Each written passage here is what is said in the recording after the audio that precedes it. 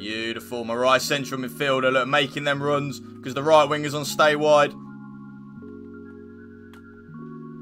That is a perfect example of the 4-3-3-5. You've got the central midfielders close to the centre forward getting into the box. You've got the right winger on stay wide and the left winger on stay wide. And the left winger is actually the one that scores. A brand new formation and custom tactics on my channel, which is perfect for possession football, pure football, whatever word you want to call it. So without any further ado, drop this video a like for the YouTube, drop a comment down below, and if you can please hit that subscribe button to my channel, that would mean the world to me. So without any further ado, the 4-3-3-5 with the centre forward, let's get into the custom tactic. For your cheapest and most reliable place to buy your FC24 coins, check out mmoexp.com. Link is down in the description below. Use the code Woolf at the checkout for 5% off your order.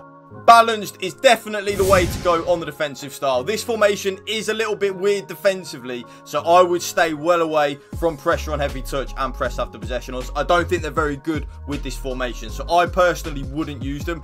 It's not that they're not good, but I just think balanced is a lot better. I like to be in control of where and when my team presses the ball, and if you actually read what balance says, a balanced style where your team presses the ball to the middle of the pitch and your team shape is neutral. It's actually really, really, really good. The defensive width, though, I do go a little bit more narrow than my usual preset 50, so I do take it down ever so slightly 245. Nothing too major, but I do just want to make this formation very solid and elite defensively. Kind of more so than I would have to do normally. So that's why I do take it a little bit more narrow. But at the same time, I don't want to go really narrow like I have in some of my formations because I still do want to be defensively solid and defensively compact. But also be able to operate in terms of my opponent switching the play and trying to mark that switch of play that they will do.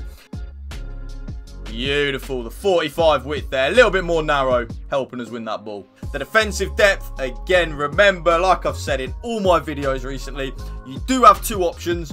Option one is the option that I love and I use and abuse it, and that is, of course, the 71 depth. If any of you don't know what 71 depth does, when our team loses the ball, it will automatically press and automatically offside trap, but won't drain your stamina like you would normally be if you were on press after possession loss and stuff like that. So it's very, very, very OP and very broken.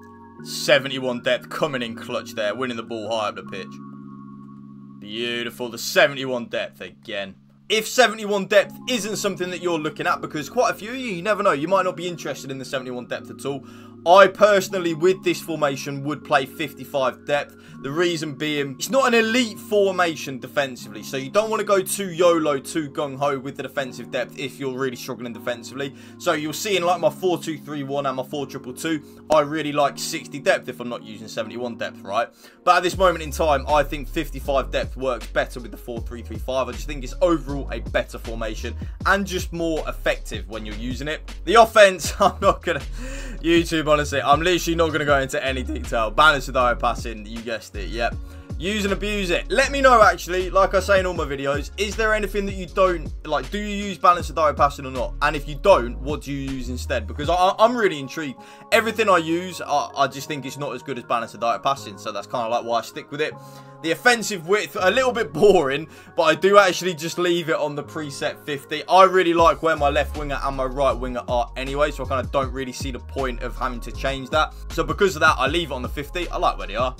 It does the job. Players in the box, though, yep, you guessed it, seven.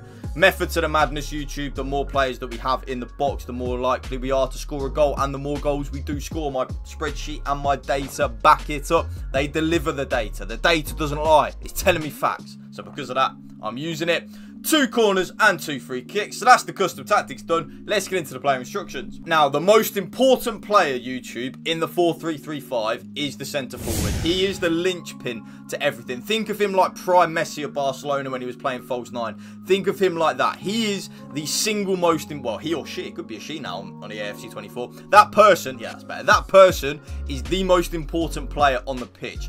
So you're going to want to have the centre forward on stay central and get him behind. Get him behind, pretty self-explanatory. I do still want him to make runs in behind, but at the same time, I don't want him just to stand still. So uh, that's why I put him on the stay central and get him behind. The stay central as well, pretty obvious. I want him in them central areas of the pitch in that false nine position. I don't want him venturing out to the left and the right wing because you'll see what I have my wingers on in a minute, why I don't want him to do that. So that's my centre forward, the most important player in the formation. The left winger and the right winger are on exactly the same. So they are on come back on defence, stay wide. Very important, YouTube, that they are on stay wide. Getting behind as well. Very, very, very important. And get into the box for cross. Again, very important. Now, what I want my left winger and my right winger to do, kind of like contrary to belief, I don't want them actually making runs into the central areas of the pitch. I did try that, and it is good, so if you do want to use it like that, you can definitely use it like that. But for me, I preferred my left winger and my right winger on this game at this moment in time with how it plays to stay in them wide areas of the pitch. The, the big reason for that is because you will see what I do with my left central midfielder and my right central midfielder in a minute.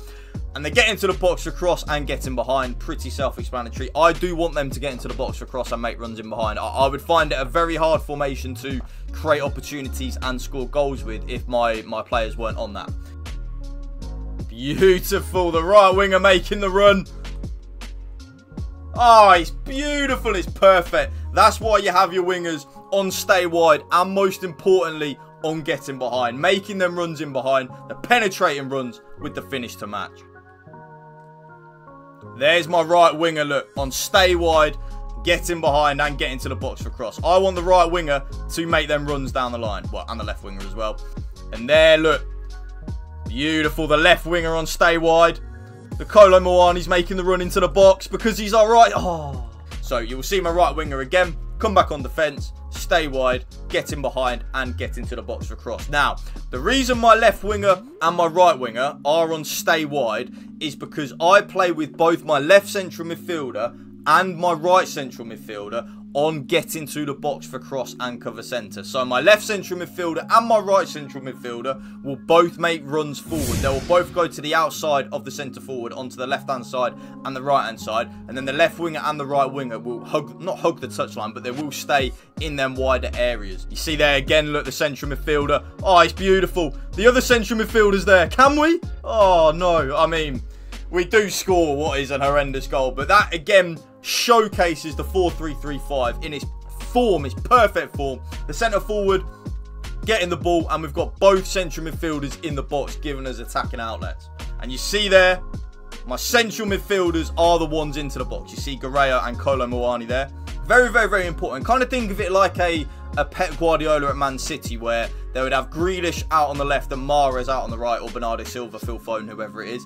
And then players like De Bruyne, Gundogan, players like that, they would be the ones making them third man runs into the box. That's how I'm using this formation, and it is very, very, very effective. So that's why I have both my left central midfielder and my right central midfielder on getting to the box for cross and cover centre. My CDM, the Rodri role, the Boubacar Kamara role up the Villa. I was at Villa Park yesterday to see us beating uh, Fulham 3-1. Beautiful. Stay back while attacking and cover centre. I don't want that CDM to venture any further from that position. I want him there, locking it down, holding down the fort, your bread and butter.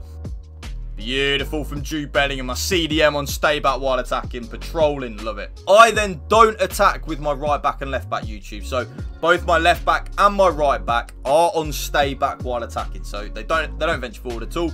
My goalkeeper comes for crosses and sweeper keeper. And that right there is my updated 4-3, well, not even updated, my brand new 4-3-3-5 false 9 formation for you. If you did enjoy this video, please, YouTube, drop it a like, drop a comment down below, and if you can hit that subscribe button to my channel, that'll mean the world to me. Thank you for watching. Remember as well, spread the love and positivity. PMA, positive mental attitude. Peace out.